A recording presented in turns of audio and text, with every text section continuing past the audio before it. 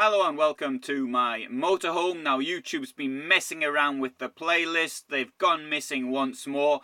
This is my computer and rather than show you a screenshot in motion, I'm going to show you it from the computer because I'm going to start pointing at things. Right, first thing we do, you turn your computer on, you probably knew that.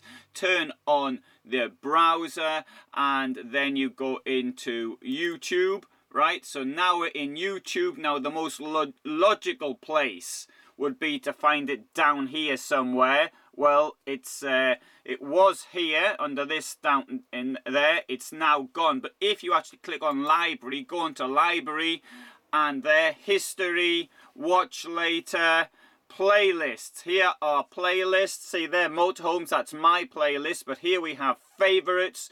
Click on that favorites and there we have my favorites. So uh, we're in there and there we have favorites. My favorites are down there. What about another way of doing it? Well I'll show you that now so I'm going right back to the very start.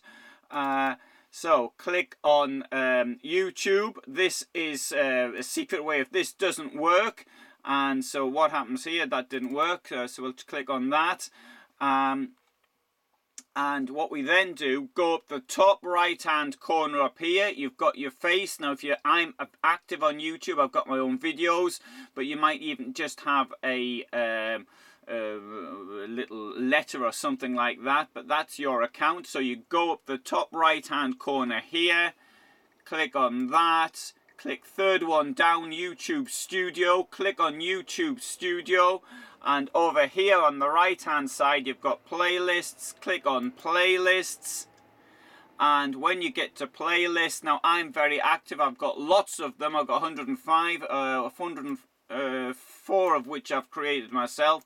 So let's go to the oldest one. That's there favorites. It's there favorites. Click on favorites and we're back on my favorites. There we are back to the same spot. And that is how you find playlists on YouTube. Uh, this video replaces the one I did in June 2017 so I hope you found that of interest thanks very much for watching. Rather amateurishly done, but uh, it might have helped you find it. All the best from Central Poland. Bye.